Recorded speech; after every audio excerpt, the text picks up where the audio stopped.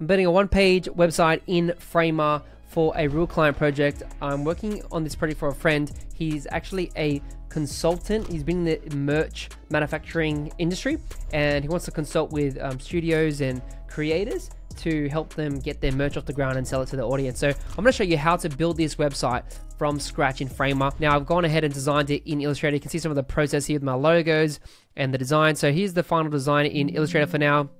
I might change some of the aspects, but you can see here you've got the 3D character.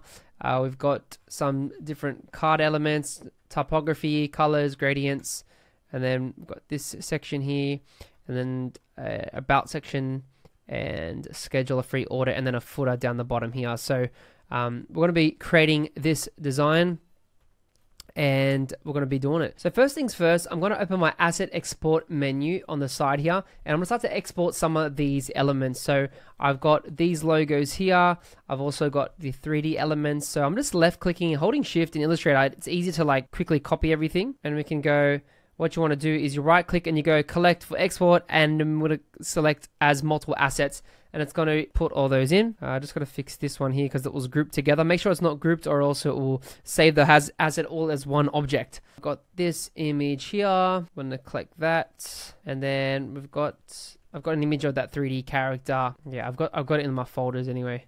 And this logo as well. So I'll just quickly rename these and then I'll jump into Framer. In Framer, I'm going to go ahead and make it longer and I'll make the desktop size, we'll go 1440, typically that's what I like to work with. Oh, we could do 1920, doesn't really matter. Now, what I want to do, I want to export some of these colors. So I'm just going to go start ahead and building. So I'm going to use my eyedropper. I just quickly screenshot and drop this image of the landing page. So I can just quickly eyedrop the colors, which makes it super easy. So I've got this, and then now what I'm going to do, I want to work on the nav bar. So I'm going to go to insert, I'll type nav, and we'll do a simple um, nav bar. I'm gonna go with this one. Sweet. I'll make it a bit wider. With my mouse, you can drag that, which is super cool. And for this one, I'm gonna have to double click into it and go into the component. Now, what I'm gonna do is I'm gonna load in um, my logo. So all those assets I just installed, I'm gonna quickly drag them in.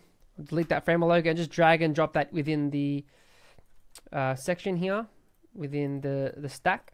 So we've got the logo there, which is looking cool. Back to Illustrator, we've got About Services and Book Core, and I'll delete the other ones. And we're going to actually style this. So I'm going to have to upload some fonts. First, I'll just quickly change the colors. I'm going to go to my assets. I'm going to go to styles. I'm going to add a color style. We'll call black. Boom. I'm going to add another one. We can just eyedropper, which makes this super easy. Now we need to do our text styles as well. So for heading one, we're going to be doing this one. Um, so it's Bing and Dime display. So we're going to have to upload a font. So I'm going to go custom, uh, upload. I'm going to upload another one. Now the other font we're going to be using is Outfit. Uh, Outfit is a free font. You can get it on FontShare. The other one is from Brandon Nickerson. Uh, he's a type designer and he creates lots of different fonts and gives some out for free, which is super cool. So I'll just go uh, OTF and we'll do lights. And then we see the two fonts there. Beautiful, cool. So now we can make a style. So I'm to go find our fonts. As you can see, you know, you can actually right click and you can click copy. And then what you can do is you can actually copy the text. So now if I shift click on the other text, right click, press paste, I can um, paste the style and it should translate over. Uh, let's just go back and go to copy style, paste style. There we go. So it works when you copy the style and then paste it. So it works for text as well, and you can shift click to select a whole bunch of them. So what I want to do now as well, I just want to change the spacing of this. So I'm going to add some space between.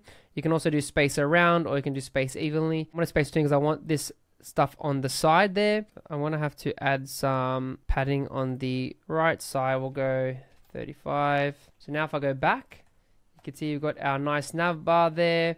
It's in white though. Um, let's go change the background. I'll click the beige color. So now it should be working. I think I've got to go back to this color because it didn't work properly. All right, there we go. It's actually beige now. So this is looking good. You can see we've got this like little stroke here as well. We can double click, go into here and make sure there's no uh, border on there. I want to make this text a little bit bigger. Let's go with 20. Shift click and let's go change all the sizes at one time. Make it 20. So for now, I'll leave the website like that instead of having it in the middle. I'm to go save a new style. I'm to click on this text, click on the text in the right sidebar and the styles there. You can add a new style. I'm to keep it as a paragraph for now. And then I'm to go rename this and we'll go nav text. Nav text. So now when we click on this, I can change it to, you can see that nav text and now we can change that, which looks really good. And I think it's got a bit of padding.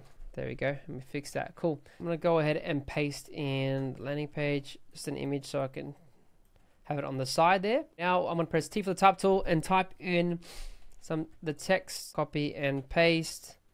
And if this one, I want to make a H1, so this will be the H1, and we're going to edit it. So we can change it. So for this one, we're going to go with BN Dime. We're going to make it green. We're going to center the text. I want to make sure that it's all caps as well. Change the uppercase. And then we're going to change the line height. Let's make it smaller. And then we're going to scale this really big. We want to go maybe 120 or let's go 100. And we'll change this. Cool. So I'm going to click add section and the fast way to do this would just be to add a quick section and I'm going to I'm going to click just the top one. They've already created a button stack here. And now I'm just going to delete this button here. I'm going to customize the button. So I'm going to go to the right, click on styles, and we're going to add a gradient. So we'll go the green and then click the second bar and the second node. And we can adjust this. And if you want to rotate it, just put your mouse over the ends of the node there and you can drag it like this. As you can see which is super cool. And then what I'm going to do, I'm going to adjust the shadows. So with the shadows, I want to bring the color up like this, and we want to add uh, less blur. So you can see this, we don't really want that. And the focus, we can do box or realistic. So if we do box, um, we can turn off the blur, we'll spread it, and then, then we'll plus the X and the Y. So you should get something like this. And then we can change the text to BN Dime Book Audit like that. Super cool. Then we'll get rid of the fill of this section. And now what we want to do we want to create this bento box. So I'll delete this and I'm gonna go insert and we're gonna insert uh, one of these grids here so I can drag this in. Then I'm to adjust. So we want two columns. So on the right you can see it's a grid.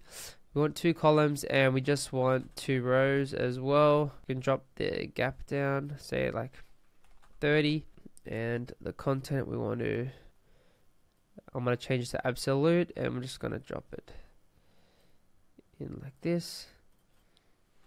Delete that text and then we're going to change this text using the styles to we'll go heading 3 and then I can come in here and paste this.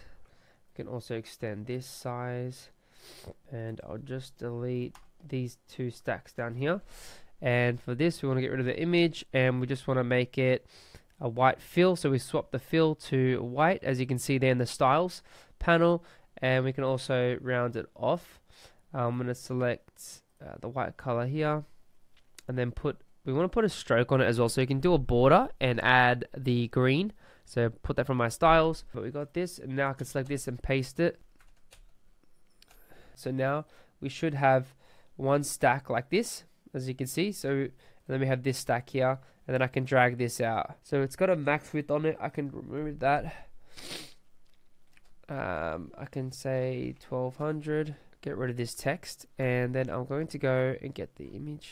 So I can left click and drag. And you can see how it highlights in blue. That means it's going to go inside that stack there. And then we can just scale this up a little bit and you can see that it's fixed. We're to turn the lock off. Can also change to absolute so I can have a custom vibe to it. And then I've also got the pattern as well. So drop the pattern into there. So now I've got the pattern behind and we've got a little character, which is cool. And we can also add a little shadow to our character, as you can see. So just to make him pop a little bit more off the background. And I think that's fine for now. Now I want to bring this button up now for this text, I need to change the color, so I'll use the red. Red like that. And then what we want to do is we want to bring in our 3D assets. So I'll bring in the 3D images and I'm going to use the plugin Tidy Up. Alright, cool. So we got these images here and I'm going to drag one in here and then one in here. And we just want to make sure that those um, 3D images are on absolute so I can have full control and you can see that it's actually not overflowing. So what we can actually do is select the stack behind it and we want to go to overflow visible. So now this can thumb can sit outside the box, which is what we want. And I'm now going to do the same to this, change the overflow to visible. Our website's starting to come together, looking really cool, cool. Just going to add a normal section with a fill. Now with the fill, we're going to go, sorry, with the gradient, we've got green to yellow. And then we want to make sure that we select this and we get rid of the overlay. We don't need the buttons. We really just want that text. So for this, you can select the big heading, but then we can also go to the color and change that color. Get this text, we'll change it to left align and we can actually customize the style. If you turn off the, click the X on the style and it'll get rid of the style. And so we can customize that. So I want to make it really big and then I want to make the line bigger. So we'll go put the line maybe 0. 0.8 should work and maybe drop the size of it further down. Now I'm going to add a stack and for this one we want to put some other text in it. I'll copy this and I'm going to paste it in. Obviously, it's too big. We want a body size. And then we want to make it this color. Left aligned. Cool, there we go. And then we can play around with the alignment. So in the alignment section on the side, you can change that. Change the overflow as well. Change the width to 0.7 FR and I'll change this stack to absolute. And you can hold, always hold shift and click to make the sizing go faster in the size section. Cool, there we go. So we got our, there we go so far. Cool. I'm gonna add a new section and I'm gonna click this one here and we'll select the styles. We've got a headline three, but I'm gonna have to go headline four. H4. We'll do red and then we're going to fix the line spacing as you can see here. And this one we'll just keep it on the body style. Body, let's go body left aligned. So we do this, fix that and then we might fix this spacing there. Boom, like this. Cool. So now we've got this image here, but we just want to fill white so I've got my text here and I've got the stack. I'm just going to increase the gap. And what I'm going to do is I'm going to duplicate this stack and I'm going to drag it up into the stack above it. So then we've got these two columns. So one, you got one stack that's a two column and then you got these two content cards. And I'm going to add a white background for this. And I'm going to add some padding. We'll go with maybe 30 pixels. And we'll also add a radius of 25 pixels. And then what we're going to do is just duplicate this stack Make sure it's on vertical. So I'm going to just increase the size there and decrease the gap. And I'll decrease the gap as well for this stack here. Max width will change that to 1250 in the max width section. And so we've got these cards here. So now I can duplicate this content, just paste it like this, which is awesome. And now what I'm going to do is we're going to make sure that it stays up the top. I'm going to drag this out so that stack um, cover shows all the content there. And we just want to make sure the align is on the top. So on the right side in the layout section, click align. We also want to align the other stack as well. So we'll change distribution to start. So now we got this. Now what I'm going to do is select this box here and we're going to change it not to relative but to sticky, right? So now if I press play, when we scroll, you can see this section on the left is going to stick. I'm just going to select the stack and increase the gap like this. And then what you want to do is just grab these 3D elements here inside the boxes. And then you'll just want to shift click all of them and then you want to change them to absolute. So that means you can move them anywhere along that um, card and we change the card overflow to visible. Just make sure the overall stack above that is visible as well. So then you can see the 3D icons. So you want to have them sticking out of the box. So we're breaking that grid. Just makes it look more playful, more fun, not too like stiff and rigid. And then uh, I can go ahead and like change the text. We can shift click as well all these and we can just add a border, green border like that. And then for these cards, you can add an effect. So with the effect, what you want to do is you want to appear and then we want to um, slide in from the bottom um, as we go layout in view or section in view. And then we can preview that.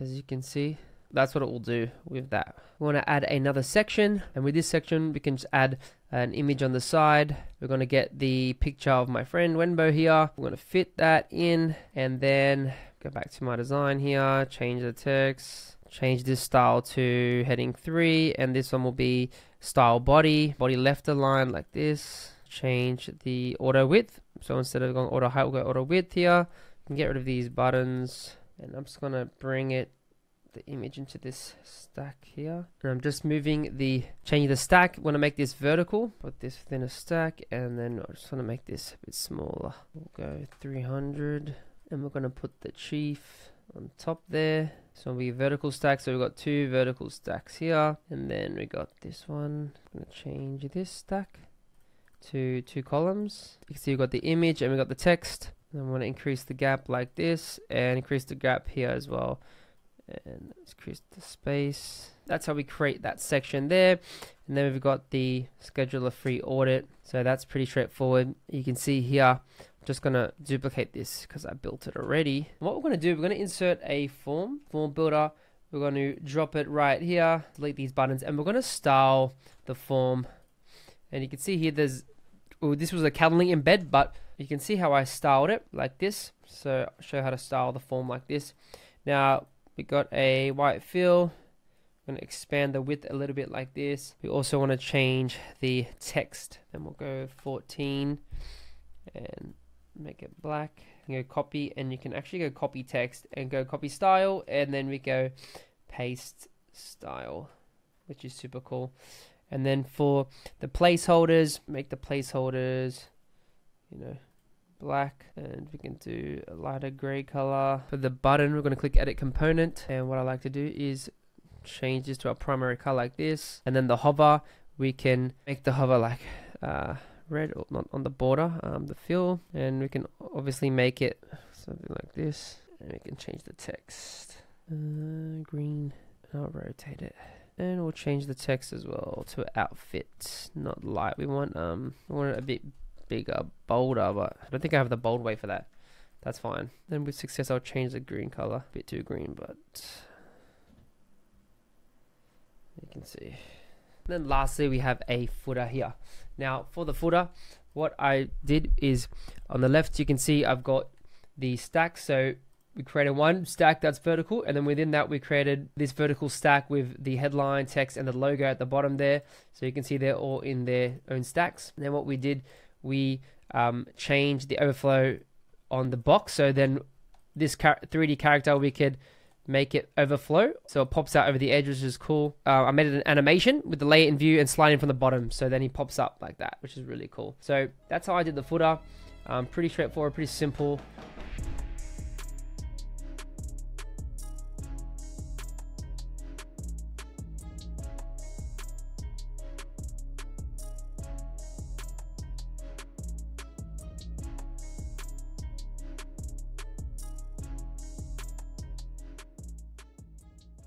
Hope you enjoyed this quick tutorial on making a landing page for a real client project. Obviously, it's just a quick version and you'd have to go in and make sure that it's responsive for mobile and the rest of it. But here's just a quick way to create a simple, simple website within a day. If you want to try out Framer, use my code Jeremy. You get 25% off on any site plan. So I will put the link in the description below um, or use the coupon at checkout on the website. So hope you enjoyed this tutorial. If you want to see another Framer tutorial, I've got a video right here that shows you all the new Framer plugins. Check it out.